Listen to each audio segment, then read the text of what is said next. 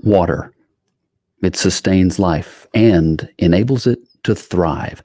And thanks to the organization that we are featuring today, tens of thousands of people from Cambodia to Uganda, Ethiopia, and Tanzania all have clean water to drink for years to come. This organization goes to those rough and tumble locations in desperate need. And they serve the people there sincerely and efficiently.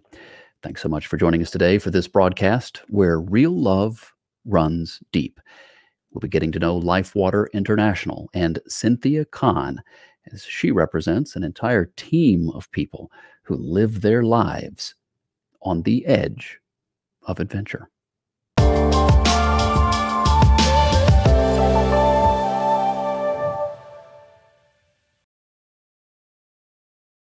Cynthia Kahn of Lifewater International. Welcome to the program.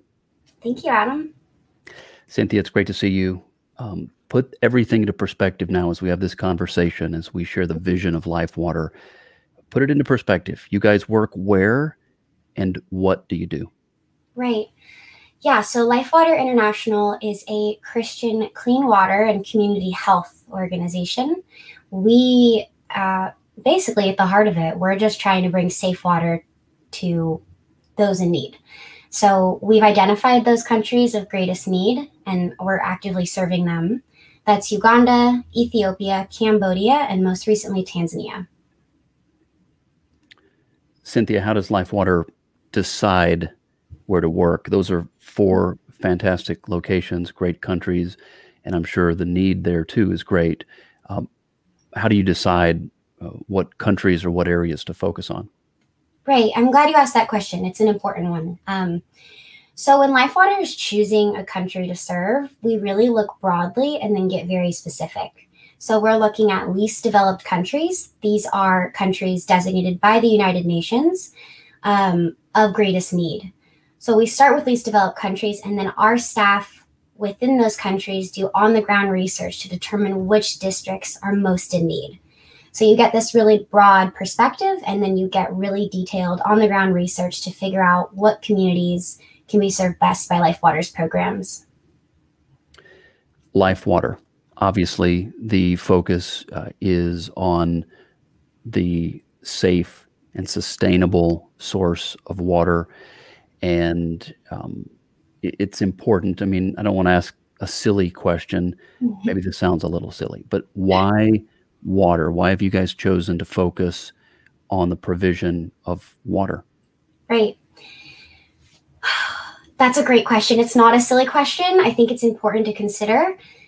So, water lays the groundwork for everything. When you give somebody water, you give them access to education. You give women time back in their day who are often journeying two, three, four hours for water. Um, and so you really give people opportunity. So when we talk about bringing safe water, we're talking about really giving life. I recently read a story of one of our beneficiaries and she said water determines your future. And I couldn't I couldn't put it better. When you bring water to a village, you're bringing just so much more. Girls like Marine, like we're seeing right now, was walking so far to get unsafe water that was making her sick. And not only was she in danger from the long walk, but wasn't able to go to school. So when Lifewater came and partnered with her community, we really saw so many, such a, an impact well beyond just health. Also, one of the key words as you get to know Lifewater International, and you can look them up at lifewater.org. When you do that, you realize that uh, the organization is focused a great deal on the sustainability of the clean water and the safe drinking water. Explain to me what the difference would be between a source maybe that's not sustainable and the kind of uh, sources of sustainable drinking water you guys provide. So, if Lifewater wanted to, we could go in and build quick, simple water sources that aren't going to last that long, that are maybe made with poor quality materials. It's a cheaper water well. Um, but that's not what we're about. So at Lifewater, we're focused on quality. And it's because, like you're talking about, Adam, sustainability is is everything. If you bring a community safe water and a year later the water well breaks, well, we think that they deserve better, and we think investors deserve better. Um, so at Life Water, what we do is go in, construct a safe water source with locally available materials should the community need a replacement part in a year, as all mechanical things do. Um, and we monitor the well for five years after construction. So we can guarantee that that village is drinking safe water and that they're getting abundant water. Uh, particularly in Uganda, our teams, we have a particular team that um, actually works with communities. They're called Waterworks, and they are a maintenance and repair team that will be there in 24 hours if that water well needs any service. So it's pretty groundbreaking. Uh, what we found from other organizations is that a lot of the times, very well meaning, but after a year, it's something like over 20% are broken down. And globally, right now, it's estimated that 45% of all safe water sources are not in use. So that's a huge issue. Um, and that's why Life Water is so so focused and so determined to create water sources that last. During your time there, which I think you've been there for about two years, two years plus. Yeah, two and a half years. During your time there, what have you seen in terms of transformations? If if you go into a location where they don't have that kind of water source, and yeah. then you compare it to after such is built and set up what kind of transformation do these villages and these communities go through yeah i'm i'm going to try not to get emotional because i have been in communities that don't have safe water and i have been in villages that have gone through this vision of a healthy village program that life water um, provides. And it's night and day. So I'll give an example. I was in Uganda in 2019 with Life Water and was visiting a community that Lifewater had just started working in. So they didn't have safe water yet. We walked with a mother and her child on her back to reach a swamp. And right alongside her, cattle were drinking from the water. I mean, it was just something that breaks your heart and for good reason. I think when you view those things, you're really called to action. So the next day, we went to a community that was a healthy village. So that's what Life Water calls a village that's gone through the process of, as a safe water source, is practicing really critical health practices like hand washing. And there was a mother there, Justine, who was a teacher and her home was clean and she was able to provide for her family in this way because she was no longer walking hours to reach a water source that was making her kids sick. Um, and it was just, it felt brighter and cleaner and happier. I mean, kids have more energy. You can just imagine like children running around laughing and that gardens are flourishing because families have time to invest in their farms and their gardens.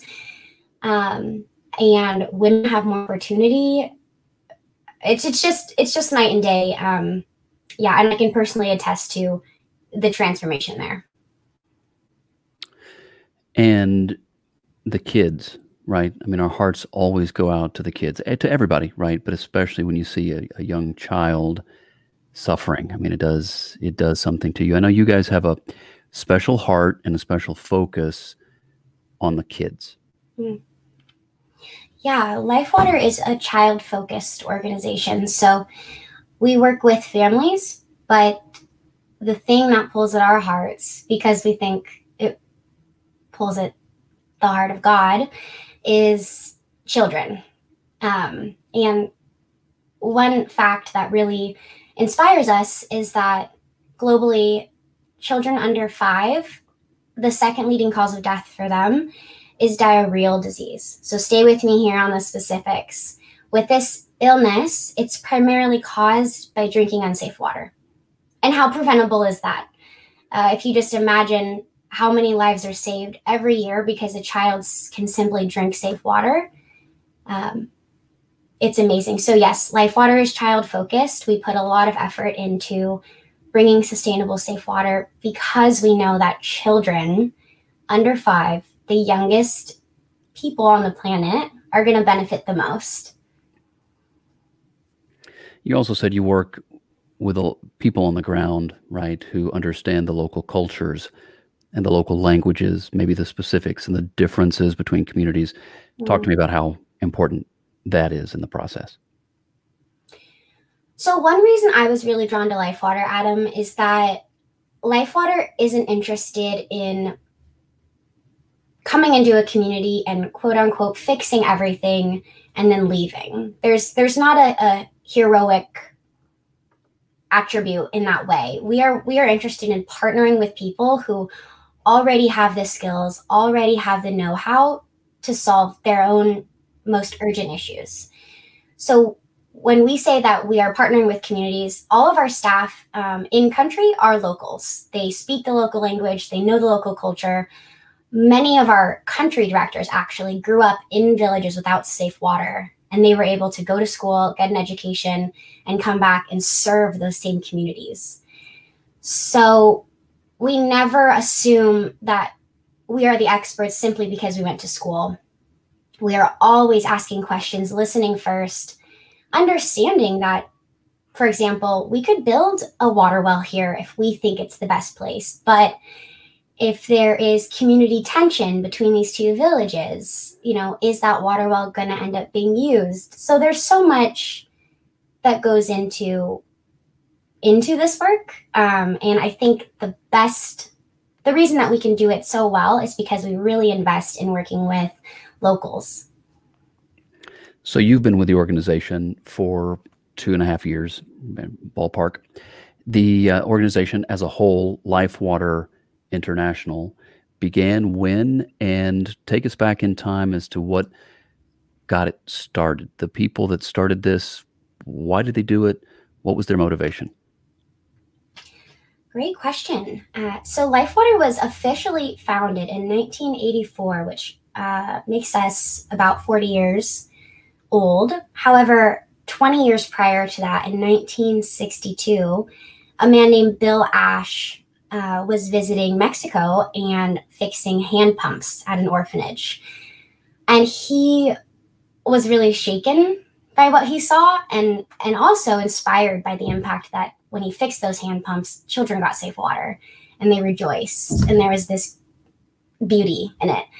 So Bill started just getting volunteers and going to countries in need and going to Mexico and fixing hand pumps. And it was really just a volunteer basis. Um, however, around 1984, he visited a conference and got over 2,000 requests for safe water sources from pastors all over the world.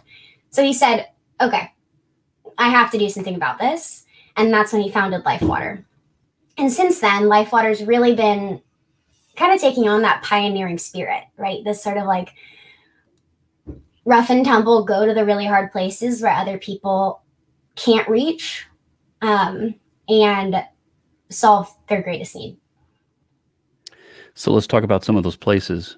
Uganda, we've talked about that but you guys also work in Ethiopia, Cambodia, and Tanzania. Are the needs exactly the same, or does it different or differ between those four locations and the communities they're in? Yeah, that's a great question. We've seen in our African uh, programs that the needs are are very similar. Of course, the cultures are different. So, LifeWater, um, you know, adjusts and operates based on that. However, in Cambodia, there are massive cultural differences. I think it, we would be remiss not to mention the Khmer Rouge, uh, which were a militant group. They are responsible for the genocide of millions of, um, uh, 2 million estimated Cambodians. So, what that builds and why that's important now is it creates this culture of really tragic loss, um, distrust amidst community members. And so, LifeWater's angle in Cambodia has really been about loving deeply and loving first and working with churches. Uh, Cambodia is also, um, I think, 3.2% Christian, so it's very low um, in the faith aspect. So Life Water operates with churches first, really coming from this place of love and trust and putting an extra footwork to build trust in communities that have, for very good reason, lost trust. So, the, okay, the, the faith based aspect of Life Water, right? A lot of the people that follow this platform, The Edge of Adventure with Adam Asher, um, many who follow uh, are Christians, many are not, right? And I always like when I talk to a guest and I bring somebody on who works for an organization that is faith based, I like to get into that and sort of understand what the importance is between that uh, connection. So you're faith based, you could just be out there preaching, mm. right? A lot of people think about faith and Christianity or whatever, and they think that it's about preaching and converting people based on the words you say, right? Um, but you guys are out there serving in a very genuine fashion. Talk to me about that role in the Christian faith. Mm. I love that question. Life Water is committed to serving in word and deed, as you know, my boss likes to say. We think it's critical. We think that without one, it's hard to have the other, right? Without without words of love to the community members, um, it's they, are not going to know that we believe in Jesus, that we're loving them because of Jesus. Um, but if we're simply telling them believe in Jesus, that they're saying, I I don't have water. I don't have a single cup of water to make this meal and my children are hungry. We feel like we're not really truly meeting their needs as a whole person. So LifeWater operates from this idea that we belong to one another. It's a biblical concept. Um, and you know, we truly believe that by walking with people, by being the hands and feet of Jesus with an urgent need like the water crisis, people people's eyes are open. I mean, we've seen it. Their hearts are changed, transformed. We serve in a lot of Muslim communities, and over and over again, I particularly hear because I work with our journalists on the ground is that Muslim leaders are saying Lifewater loves us even though we don't have the same religion. And Lifewater serves us even though they know that we're worshiping in mosques. And I just think that that's, I don't know, a great example of the way that we serve, which is always you are a child of God made in the image of God. And so I want to meet your needs um, and love you as Jesus would. We are talking today with Cynthia Kahn of Life Water International. And you can definitely, and you should definitely look up their organization, get to know them a little bit better. You'll come across them on Instagram at Life Water International.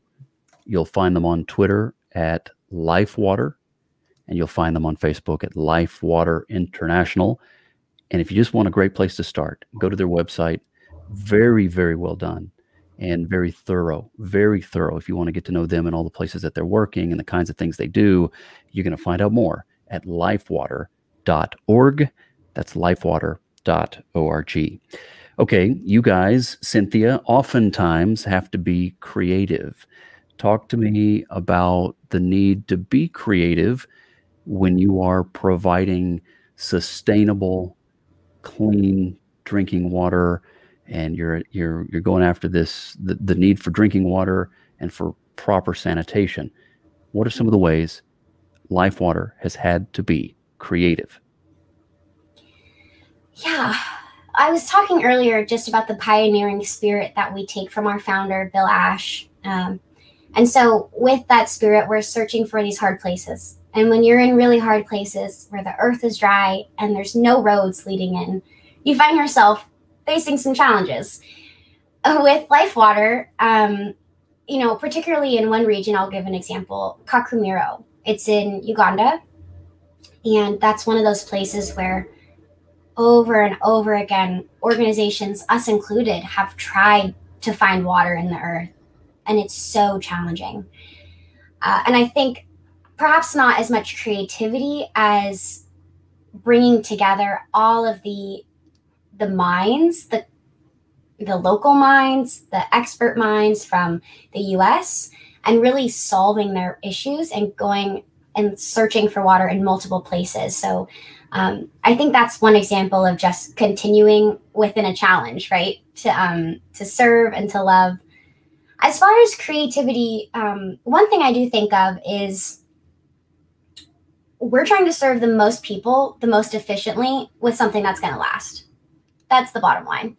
So, in communities in Ethiopia, for example, we will often, if, if two villages are next to one another and there's a natural spring that we can protect uh, to provide safe water for those communities, we'll actually create a pipe system to reach from one natural spring way in the mountains, miles away, down the mountain to reach two communities uh, with a great need for safe water. So our engineers are amazing, just so talented and experienced, um, and they get very creative in solving extremely challenging water problems. So tell me about the kinds of people that can be involved. As I was looking at your website, I, I noticed that you guys have a program that allows families, perhaps in the U.S. or other uh, countries around around the world, with the opportunity to help, and maybe they want to get involved and uh, serve, help you guys in some way, like maybe as a family. Mm. Um, tell me about some of those programs that you guys have, and then um, in general, what are some of the ways that you guys can and do need help? Yeah. So the best way to help for anyone is simply to go online. When you go to www.lifewater.org, you'll be faced immediately with stories of communities in need. And I encourage you to just read those stories. If you're a family and you want to get your family involved, it's an incredible way to start teaching your children how to be generous, um, how to care for others in need. And we've actually had many families who do that together, look at stories online. Um, and then from there, you can choose to sponsor that project. And you'll get updates every few months on the status of that community uh, with photos a lot of the times. Um, if you're a church and you want to partner with LifeWater, I'd love to connect you with a donor representative. Uh, if you are a corporate organization and you'd like to partner with LifeWater, we have so many opportunities, um, specific funding goals, and we'd love to work with you to figure out exactly what you want to do and what you care most about so that we can find a really perfect match. Um, oh, Adam, we also have, you know, if you're a life group and you want to give back in some way, you can also partner with LifeWater by sponsoring a water project. We've had them do that. Um, yeah. Plenty of ways, plenty of opportunities. and tell me too, I wanted to ask about the Well Coffee House. Yeah. So the Well Coffee House is an uh, amazing, just an amazing shop. Um, I believe they have one in Indiana and a few in Tennessee and Nashville. Um, and so they're a great example of how a business can partner with LifeWater. They actually give a portion of their profits to safe water projects around the globe, particularly LifeWaters. Um, and yeah, their CEO, Mark, I just had a conversation with him and he was telling us all about just how important it is to to serve people well globally and to serve people well locally. And um, and then how his local community has come to support him and partner with him as they seek to solve massive global issues. Talking today with Cynthia Kahn of Life Water International, getting to know the organization and the heart behind it. Okay, and I'm going to ask a couple of philosophical questions here. Okay. Right? You can answer them any way you want to. Why does any of this matter? Hmm.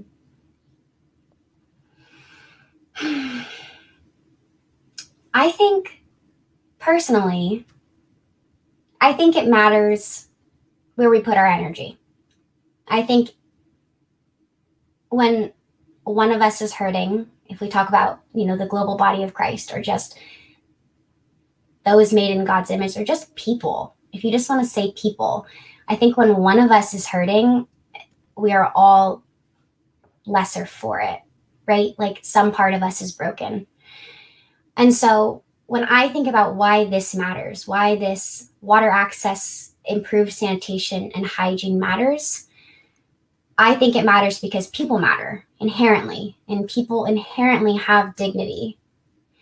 And so, if we can seek as people given resources to give back and to share something that you might say is not yours to begin with, right? These resources that you've been blessed with, um, if you can share those with those who are in a, a really great, obvious need, um, I just think the world is a better place for it. And what are we doing if not seeking to make the world a little bit better? So, Cynthia, two and a half years with LifeWater um, International. That's your amount of time that you've been there. What is what's your background and what's your role there with LifeWater? You're clearly a great communicator. You convey all this very well. But tell us your uh, official title and position there, and just enough about your background to understand why you would be drawn to Lifewater. Yeah, Adam, I am the communications and content editor at LifeWater International. So, my primary role is working with our journalists.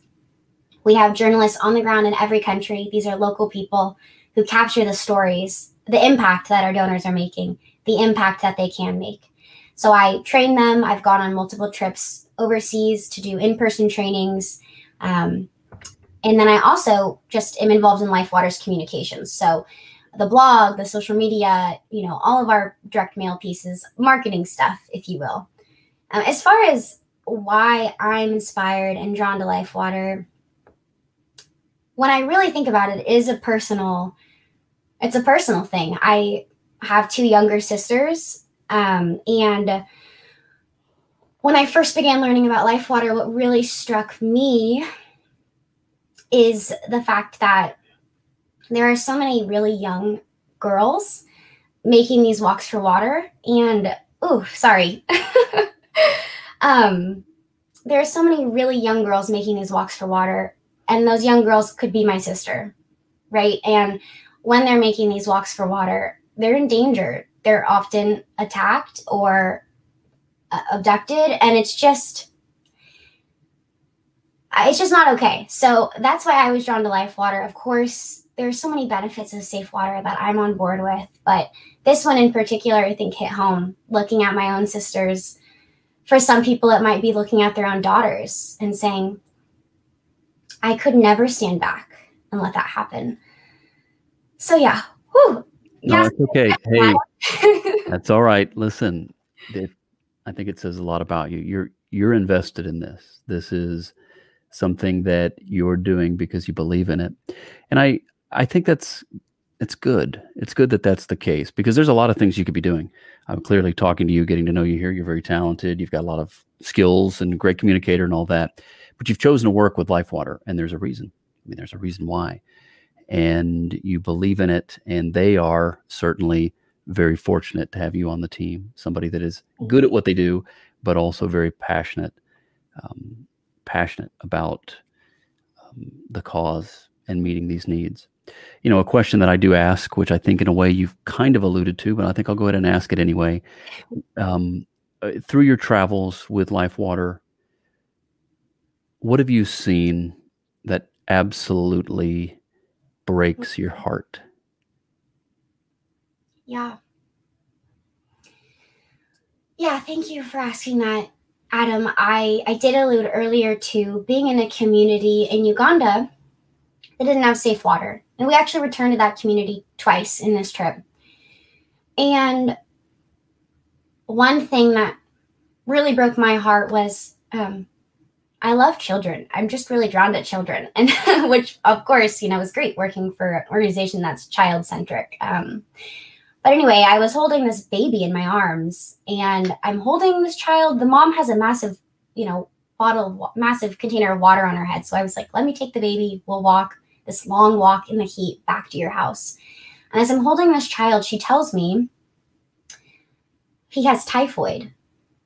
And I was heartbroken because typhoid is extremely painful, it's deadly, it's a waterborne illness, and it's entirely preventable.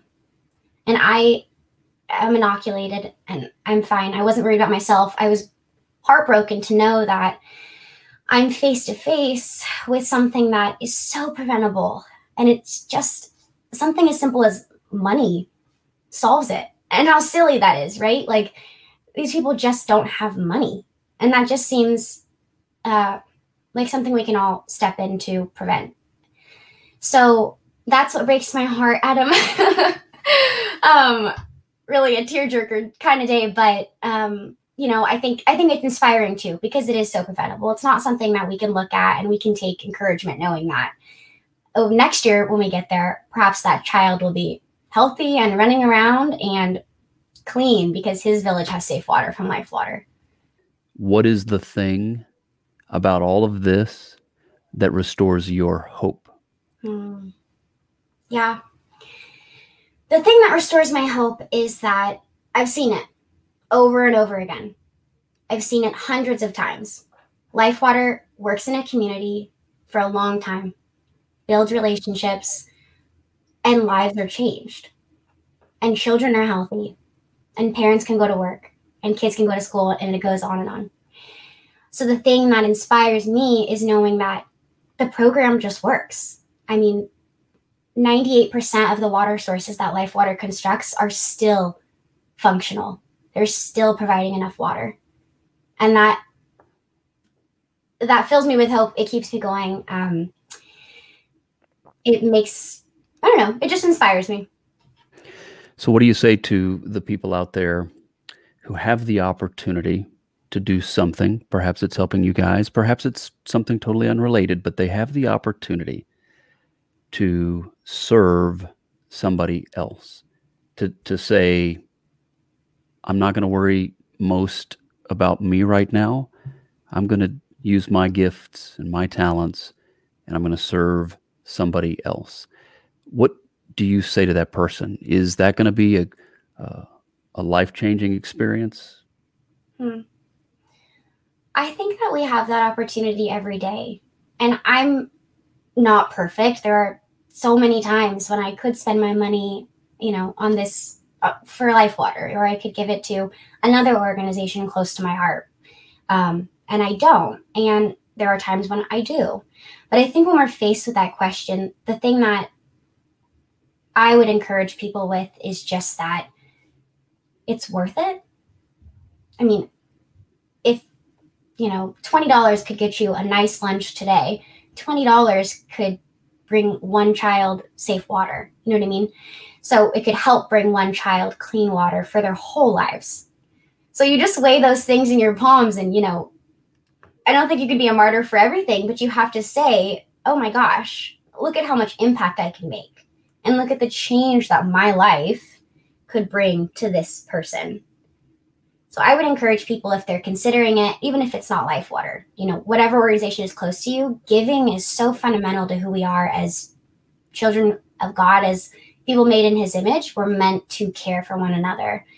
So I think when you do it, you not only experience it's sort of a spiritual experience, but I think, you know, you're better for it. Cynthia, was there a point in time where this changed for you, or is this the person you've always been? no, I, you know, that's a great question. I, I've always just been uh, really touched by people's stories. And so it makes sense that now I work with story and I see story and I communicate story to others. And so because I've been touched by story my whole life, just growing up, I mean, as a kid, I'm 25 now, but as a kid, I remember just leaning in and leaning closer and opening my ears. And I think when you just, when you do that as a person, you practice listening you hear so much more and you grow fond of of things that maybe God is asking you to lean into. Um, so yeah, I, you know, I'm, I think uh, you're making me look really good, Adam. But well, listen, you, uh, I think you are really good. That's what I think. I think that uh, you're doing a great thing, and you are serving and you are leading and you're following great leadership. Okay, let's talk about that before we wrap up the program. Yeah. I know that there's this thing that people refer to as servant leadership. I've seen people talk about it and and you guys talk about it. Mm. What is servant leadership? Yeah. So we have a great CEO. I would reference him as an example. His name is David Levan and he he always talks about putting other people's wins before his own. So if LifeWater is really thriving one year or for, you know, one month, we had a lot of donations, for example, he'll put others before him, say, wow, look at how the philanthropy team is doing.